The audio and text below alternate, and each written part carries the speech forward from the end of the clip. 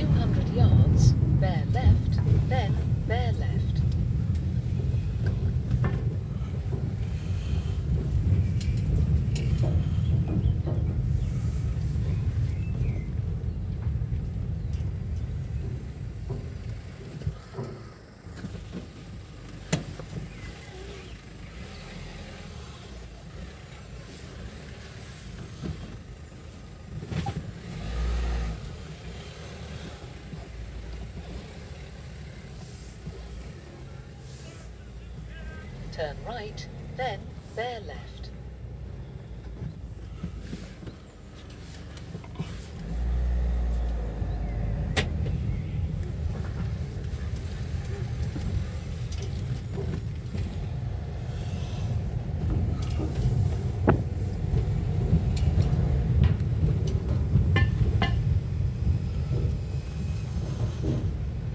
Turn around when possible, then turn left.